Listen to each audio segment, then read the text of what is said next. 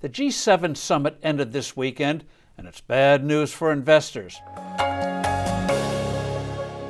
Hello, I'm Steve Forbes, and this is What's Ahead, where you get the insights you need to better navigate these turbulent times. The leaders of the world's seven richest democracies, the so called G7, ended their annual meeting this past Sunday in Cornwall, England, and what a disappointment it was. One helpful thing the summiteers did do was pledging to increase the availability of COVID 19 vaccines to poorer nations. That was about it. President Biden had said he wanted to create a united front against Chinese human rights abuses and other offenses. Yet the closing statement vis a vis China was watered down. Germany and Italy didn't want to jeopardize their business ties with Beijing. China's leaders won't be losing any sleep here. More to the point, what the G7 agreed on will make them less strong economically.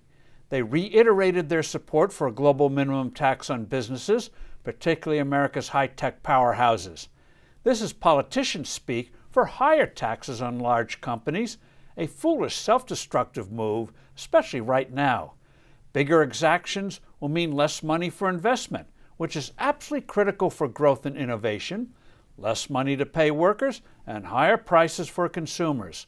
Left unsaid, of course, is that this tax scheme is a precursor ultimately for more taxes on the middle class, where the real money lies. Bureaucrats behind the scenes are already at work on such plans for the future. Higher taxes are a growth killer, period. No nation ever taxed its way to prosperity. Then the G7 reiterated support for alternative energy proposals to end gasoline and diesel fueled automobiles and trucks. However, the science and technology isn't there for that. Mining output for lithium would have to increase 40 fold, mining for graphite 25 fold, and mining for nickel would have to increase 20 times what it is today. Not realistic. Use of cobalt would have to expand exponentially. And guess who controls 90% of cobalt refining? China. The push would sharply increase energy costs. Germany made a massive move in recent years to wind and solar, but because of the weather related uncertainty of these facilities, Germany's had to increase its reliance on coal, and German electricity costs are now two to three times what they are in the U.S. Meanwhile, China and India are substantially increasing the construction of coal powered electricity plants.